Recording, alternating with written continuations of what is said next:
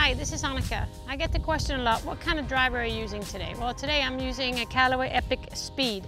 And the reason why I'm using this Epic Speed is because nowadays I'm looking for some distance.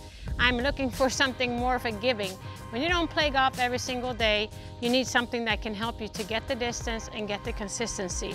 So I'm gonna hit a few drives here, but I just wanted to share a tip because I think that when a lot of people get, well, they take the driver in the hand, they become you know, they want to hit it so hard and they grip really, really hard. They get some tension in the forearms and in the shoulder.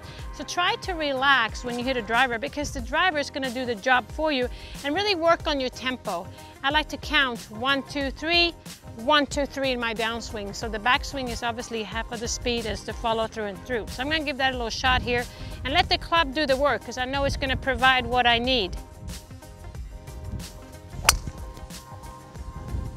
There we go. You should try this. It's pretty good Epic speed.